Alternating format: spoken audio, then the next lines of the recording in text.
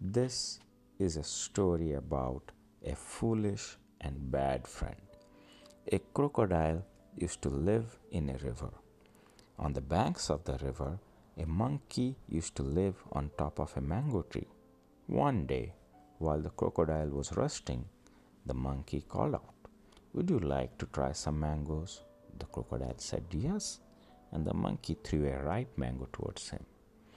The crocodile liked the taste of the sweet mango, and they became friends. Crocodile used to visit him every day to eat mangoes. One day, the crocodile invited the monkey his home. But on the way to his home in the middle of the river, he said, My wife really wants to eat your heart because she thinks your heart would be more delicious as the mangoes. The monkey was shocked. He said, You should have told me before because I've left my heart on the tree. And let's go back and let me pick my heart. And as soon as the crocodile reached the bank, the monkey jumped off and said, I would never would be friend with you because you would like to eat my heart. The crocodile learnt his lesson.